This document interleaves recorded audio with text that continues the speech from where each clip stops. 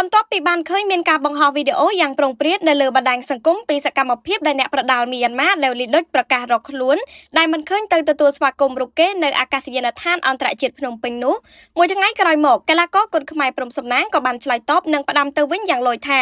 កុំមានអំនួតពេកចាំមើលឡើងសង្វៀនទៅដឹងគ្នាហើយគ្រាន់តែមកដល់ខ្មែរភ្លាមស្រែករកឈ្មោះគេភ្លាមប៉ុន្តែនៅពេលដែលដេវលីដុចមកជួបមុខខ្ញុំផ្ទាល់បែរជាមុខឡើងស្លេកស្លេកធ្វើមុខអឹមអៀនអឹមអៀនយ៉ាងម៉េចមិនដឹងនោះទេ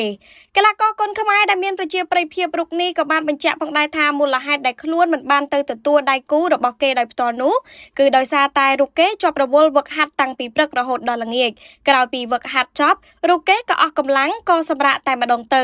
លុះស្អែកព្រឹកឡើងក៏ស្រាប់តែបាក់ទូរស័ព្ទមកឃើញវីដេអូដែលអ្នកប្រដាល់មីយ៉ាន់ម៉ាដែលលីដូចបានស្រែករកខ្លួនដោយខ្លួនស្មានថាជាការយល់សប្តិ តែក៏មានអារម្មណ៍ថាសប្បាយចិត្តបន្តិចនិងខឹងបន្តិចចំពោះការឌឺដងរបស់ Daily ដូចនេះប៉ុន្តែការធ្វើបែបនេះក៏ធ្វើឲ្យមានការចាប់អារម្មណ៍មួយបែបផងដែរអ្វីដែលកាន់តែពិសេសជាងនេះទៅទៀតព្រំសំណាងបានបញ្ជាក់ប្រាប់សារព័ត៌មានរបស់ថោនថាគេនឹងវាយដាច់ដៃចោលហើយសុកចិត្តចូលនិវត្តន៍លាលែងពីគុនខ្មែរបើសិនជាដេវលីដូចធ្វើបានដូចសម្ដីដែលថានឹងផ្ដួលរូបគេឲ្យសន្លប់នៅត្រឹមតែរយៈពេល2នាទីប៉ុណ្ណោះ ព្រមសំណាងបាននិយាយថាការប្រកួតលើកនេះសឹងតែបូជាជីវិតវាយបើមិនដាច់ដៃក៏បដូរផ្ដាច់ជើងចោលដែរ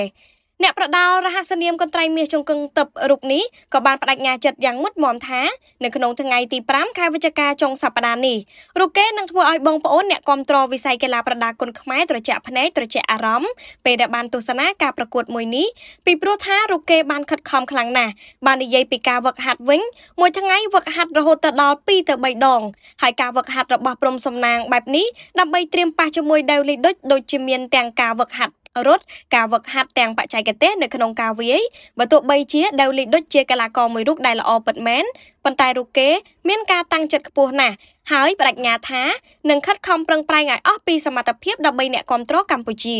ដូច្នេះសូមបងប្អូនកុំភ្លេចរងចាំទស្សនា មហាព្រឹត្តិការណ៍ Work សេនាគុណខ្មែរពិភពលោកនៅថ្ងៃទី5ខែវិច្ឆិកាឆ្នាំ2023នៅផ្សារទំនើបជីបម៉ុង271 Megamall ចាប់ពីម៉ោង7ល្ងាចតទៅជាមួយគ្នានេះក៏មានការផ្សាយផ្ទាល់នៅលើកញ្ចក់ទូរទស្សន៍ Town Full HD TV, Page Town Full HD TV, Town Sport និង Work ផងដែរ